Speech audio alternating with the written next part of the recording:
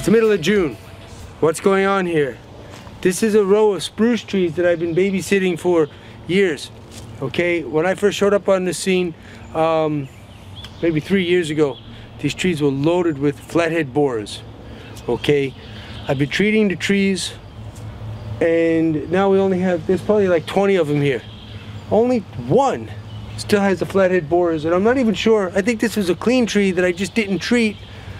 Um, and you can see these big things of blurg right here. The official term, this is B-L-E-R-G, blurg, and it's pouring out of the trees. And inside of this massive snot, there's a, a worm, and I'm gonna show you that. What do you do? You could spray and spray, but you ain't gonna do anything. This is what you need. Nothing we spray is like this. But this is very controlled, injected. You need a special license to handle this stuff. You actually have to go to Moj school. You need a hazmat endorsement on your driver's license to transport it. This stuff is called Inject-A-Cide B. Um, I used to call it Bidrin. It's not Bidrin.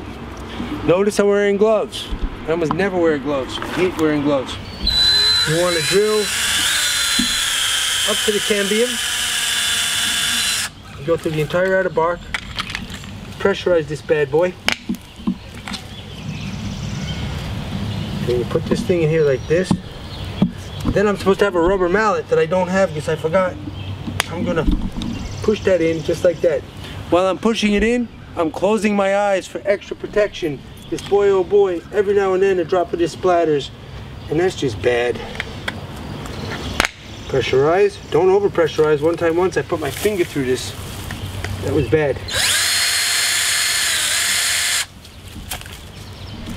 Again, stick it in there.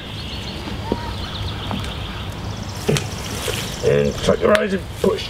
It's not even a good idea to be talking when I do this. I don't like doing this. But I'll tell you right now, get rid of these darn borers. I'll come back here in a year, and this tree will be fine. Now, not only do you want to inject these trees, but the next step is going to be fertilizing the tree. Because this tree grows from something called the cambium. Cambium is a row of cells that goes around and around the tree, and that's where you get your growth rings from. So the object of the fertilization is to get the core cambium spinning faster and faster, and the tree can lay down some new growth. Now there are people that'll disagree with me and say that, oh, you don't need to fertilize mature trees.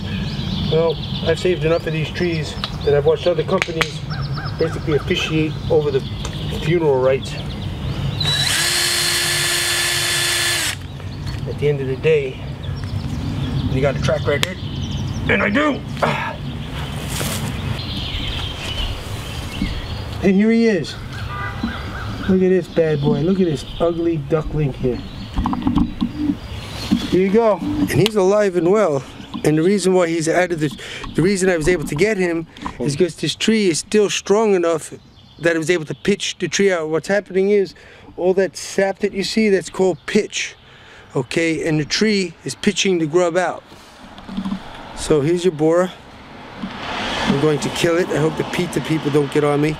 I can't find him. Sometimes the tree pitches out and you know, and it doesn't get the borer out of the tree, and I think that's what may have occurred here because I don't see anybody home.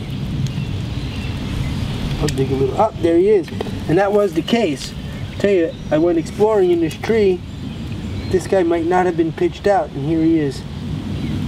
There's another one.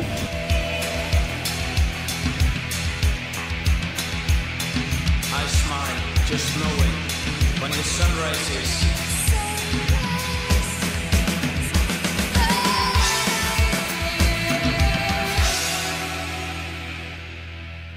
Will not see.